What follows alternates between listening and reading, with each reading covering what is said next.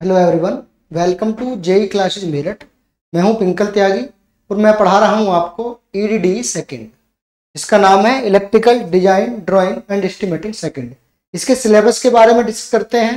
इसमें किस किस कंटेंट पर किस किस कंटेंट को हम पढ़ेंगे वो डिस्कस करेंगे और इस सब्जेक्ट के किस पॉइंट की क्या प्रैक्टिकल इंपोर्टेंस है, इसके बारे में डिस्कस करते हैं। जैसा कि सबसे पहला पॉइंट है कि कॉन्ट्रेक्टर कंट्रोल सर्किट तो इसके अंदर हम डिस्कस करेंगे कि कॉन्ट्रेक्टर क्या है। पहला पॉइंट ये डिस्कस करेंगे कि कॉन्ट्रेक्टर क्या है। कॉन्ट्रेक्टर क्या है? Part of contractor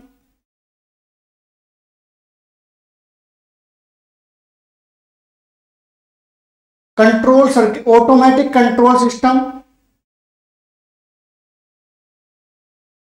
automatic control system और स्टार्ट जो हमारा सबसे पहला टॉपिक है कॉन्ट्रेक्टर कंट्रोल सर्किट संपर्क नियंत्रण परिपथ के अंदर जो हम स्टडी करेंगे, वो ये करेंगे कि भाई कॉन्ट्रेक्टर क्या है? कॉन्ट्रेक्टर का यूज़ क्या है? पार्ट कौन कौन से कॉन्ट्रेक्टर के? या दूसरा है कंट्रोल सर्किट के, हम सर्किट को किस प्रकार से ऑटोमेटिक कंट्रोल कर सकते हैं? और एक इसमें एक टॉपिक और है, इसका नाम है स्टार्टर स्टार्टर दो प्रकार के हमेशा पढ़ेंगे, एक डायरेक्ट ऑनलाइन स्टार्टर दूसरा स्टार डेल्टा स्टार्टर तो हम जो पहला हमारा चैप्टर है कॉन्ट्रैक्ट कंट्रोल सर्किट में स्टडी करेंगे ये पॉइंट हम स्टडी करेंगे कॉन्ट्रेक्टर क्या है पार्ट ऑफ़ कॉन्ट्रेक्टर क्या है ऑटोमेटिक कंट्रोल सर्किट क्या है, उसके बाद स्टार्टर दो प्रकार के हैं डायरेक्ट ऑनलाइन स्टार्टर और स्टार डेल्टा स्टार्टर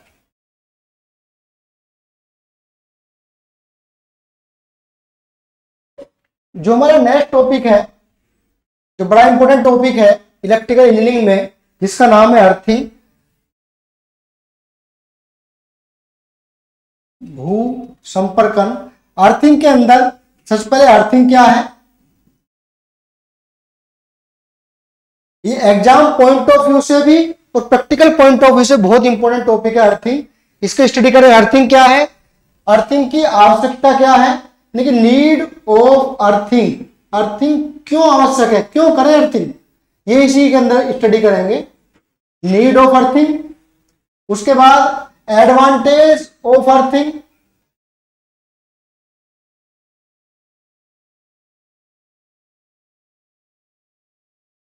उसके बाद डिसएडवांटेज ऑफ़ अर्थिंग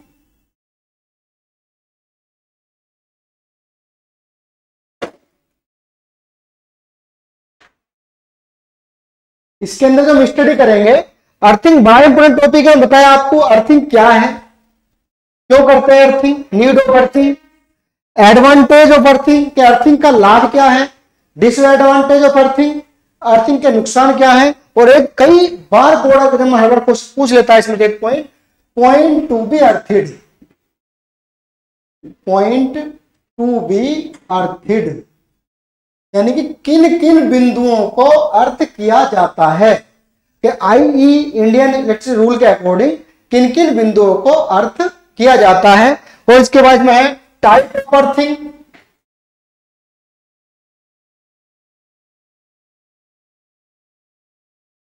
जैसे कितने टाइप की अर्थिंग है प्लेट अर्थिंग है पाइप अर्थिंग है, कौन सी अर्थिंग कहाँ प्रयोग करेंगे? ये सब इस चैप्टर के अंदर अर्थिंग चैप्टर के अंदर हम वन बाय वन डिस्कस करेंगे।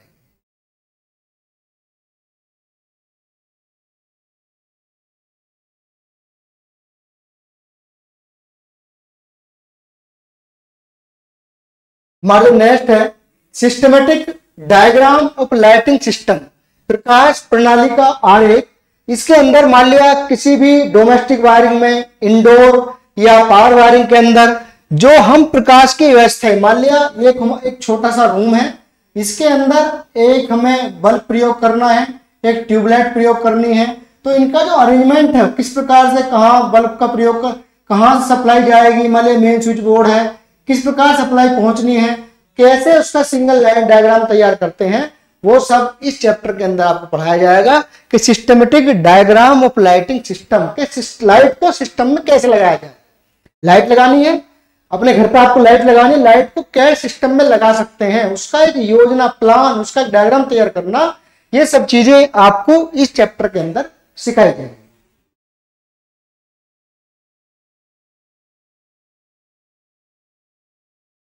फोर्थ चैप्टर है, बड़ा इंपॉर्टेंट चैप्टर है बोर्ड की दृष्टि से। Estimation and posting of internal wiring यानी कि जो घरेलू, मान को कोई घर दिया हुआ है ये कमरा दिया हुआ है। इसके अंदर हमें एक बल्ब, एक लाइट और एक फ़ैन का प्रयोग करना है। हम पहले बता चुके हैं, आप सिक्स सेमेस्टर के स्टूडेंट हैं, आप इंजीनियर हैं, इंजन बनने वाले हैं। तो इंजीनियर का ऑब्जेक्ट क्या है कि कार्य को, प्रोजेक्ट को कंप्लीट करने से पहले ही उस प्रोजेक्ट की एस्टिमेटिंग कॉस्टिंग बता देना कि इस प्रोजेक्ट को बनाने में इतना खर्चा आएगा यही इस चैप्टर के अंदर डिस्कस किया जाएगा कि कोई भी वायरिंग है डोमेस्टिक वायरिंग है, किसी घर की वायरिंग है, किसी मॉल की वायरिंग है, या किसी बड़ी बिल्डिंग की वायरिंग है वायरिंग करने से पहले उसका खर्चा बता देना estimating costing of internal wiring कहलाता है। कैसे वायरिंग की जाती है किन किन बिंदुओं को ध्यान में रखा जाता है, कैसे उसका लोड निकालते हैं, कहाँ किस बिंदु का चयन करेंगे स्विच बोर्ड कहाँ लगाएँगे डिस्ट्रीब्यूशन बोर्ड कहाँ लगाएँगे बल्ब कहाँ लगाएँगे, ट्यूबलाइट कहाँ लगाएँगे, फ़ैन कहाँ लगाएँगे, उसमें कितना साइज़ कंडक्टर साइज़ क्या होगा कंडक्टर की लंबाई क्या होगी, ये सारे discuss estimating costing of internal wiring में विस्तार से जेई क्लास में वन बाय वन आपके साथ किए जाएँगे।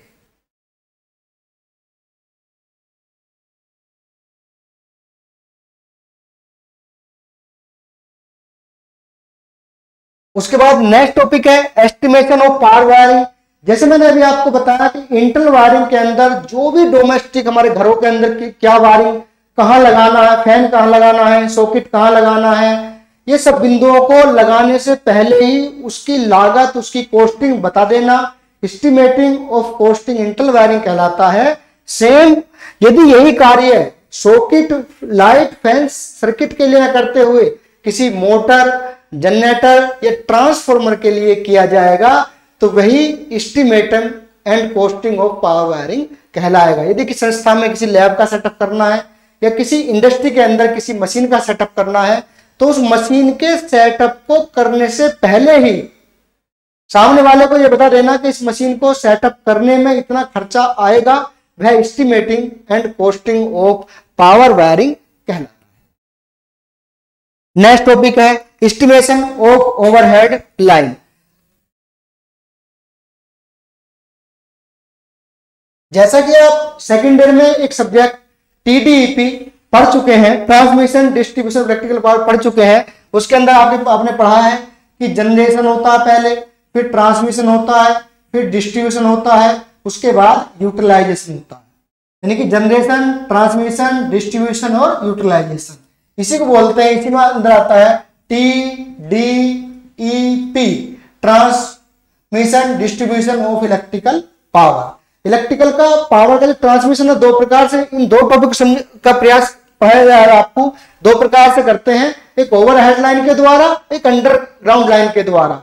यानी कि यदि वायर के माध्यम से सपोर्ट के माध्यम से हम किसी, जैसे मान एक ये सपोर्ट लगे हुए हैं, आपने देखा हो गाँव देहात में खंबे लगे हुए हैं खंभों के माध्यम से हम अपनी पावर को ट्रांसमिट कर रहे हैं तो उसके अंदर कौन कौन से इक्विपमेंट की हमें आवश्यकता होगी सपोर्ट कौन कौन से प्रकार के होंगे, किस सपोर्ट को कहा यूज़ करेंगे कंडक्टर कौन कौन से प्रकार के होंगे, किस कंडक्टर को कहाँ पर यूज़ करेंगे, और यदि कोई लाइन हमें खींचनी है तो लाइन को खींचने से पहले ही उस लाइन की लागत कॉस्टिंग बता देंगे कि इस लाइन को खींचने में इतना खर्चा आएगा। चाहे वो अंडरग्राउंड लाइन हो या ओवरहेड लाइन हो यदि लाइन ओवरहेड सपोर्ट्स के ऊपर जा रही है सपोर्ट्स की पृथ्वी के ऊपर जा रही है तो ओवरहेड लाइन है और यदि ग्राउंड के अंदर से लाइन जा रही है तो वही लाइन अंडरग्राउंड लाइन कहलाती है। तो इस, इस चैप्टर के अंदर हम दोनों लाइनों का एस्टिमेटिंग कॉस्टिंग करेंगे। पहले बता चुका हूँ कि एस्टिमेटिंग कॉस्टिंग का मतलब ही है कि प्रोजेक्ट को कंप्लीट करने से पहले ही उसकी कॉस्टिंग उसकी लागत बता देना एस्टिमेटिंग कॉस्टिंग कहलाता है। तो इसके अंदर, ऐसे ही सर्विस कनेक्शन के अंदर, यदि हमें किसी कस्टमर को अपने ट्रांस अपनी लाइन से, अपनी इलेक्ट्रिक पावर से कनेक्शन देना है तो कस्टमर के भवन के आधार पर कि उसका किस प्रकार का सिंगल सिंगल फ्लोर है डबल फ्लोर है थ्री फ्लोर है, कैसा है डोमेस्टिक है या इंडस्ट्रियल है, उसके आधार पर किस प्रकार का कनेक्शन किस कस्टमर को दिया जाएगा और उसमें कितना खर्चा आएगा ये सब हम पढ़ेंगे estimating costing of service connection के अंतर्गत। लास्ट है estimation cost sub small substation जैसे मैं पहले बता चुका हूँ कि इलेक्ट्रिकल के चार स्टेप हैं। पहला है जनरेशन ट्रांसमिशन डिस्ट्रीब्यूशन और यूटिलाइजेशन जो जनरेशन के बाद हम इलेक्ट्रिकल पावर को पॉइंट टू पॉइंट पर एक सब स्टेशन पहुंचाते हैं। सब स्टेशन के माध्यम से धीरे धीरे स्टेप अप या स्टेप डाउन करते हुए उसे कस्टमर तक पहुंचाते हैं। तो ये सब वर्क जो होता है सब स्टेशन का होता है। सब स्टेशन तीन प्रकार के होते हैं स्मॉल मीडियम या लार्ज सब स्टेशन लेकिन आपको जो केवल एस्टिमेटिंग पढ़ाई जाएगी, वो स्मॉल सब स्टेशन की पढ़ाई जाएगी कि किसी को सभी, कोई भी सब स्टेशन लगाना है। मान लिया 33 three KV by eleven KV का कोई सब स्टेशन हमें इंडोर लगाना है स्टेशन दो प्रकार के होंगे इंडोर होगा या आउटडोर होगा। ये सब स्टडी हम इस सब स्टेशन के, इस चैप्टर में करेंगे कि estimation of costing of small substation आप हमारे साथ जुड़े रहिए, देखते रहिए जेई क्लासेस मेरठ। आपको ईडीडी सेकंड में सभी लेक्चर वन बाय वन अच्छे से अच्छा कंटेंट आपको मिलेगा। Thank you so much